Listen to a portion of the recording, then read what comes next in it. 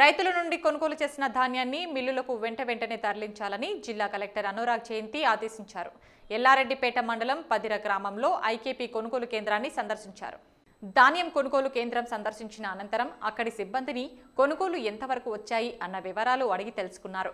కొనుగోలు కేంద్రాలకు వచ్చే రైతులకు ఎలాంటి ఇబ్బందులు కలగకుండా అన్ని రకాల సౌకర్యాలు కల్పించాలని గోనె సంచులు టార్పలిన్ కవర్లు రైతులకు అవసరమైనప్పుడు ఇవ్వడానికి చర్యలు తీసుకోవాలని ఆదేశించారు. అనంతరం గొల్లపల్లి గ్రామ శివార్లలోని గుట్ట వద్ద ఏర్పాటు చేసిన పల్లె ప్రకృతి వనాన్ని పరిశీలించి మొక్కల పెంపకం ఎన్ని మొక్కలు నాటారో అనే విషయాలు అడిగి తెలుసుకున్నారు. అనువుగా ఉన్న ప్రదేశాలలో తీగ జాతి పూల మొక్కలను కూడా పెంచాలని డిమాండ్కు అనుగుణంగా నర్సరీలో మొక్కలు అభివృద్ధి చేయాలని సూచించారు. మండలంలోని కోరుట్లపేట సింగారం ఆకపెల్లి గుండారం పల్లె ప్రకృతి వనాలలో పూర్తి స్థాయిలో మొక్కలు నాటాలని ఆదేశించారు.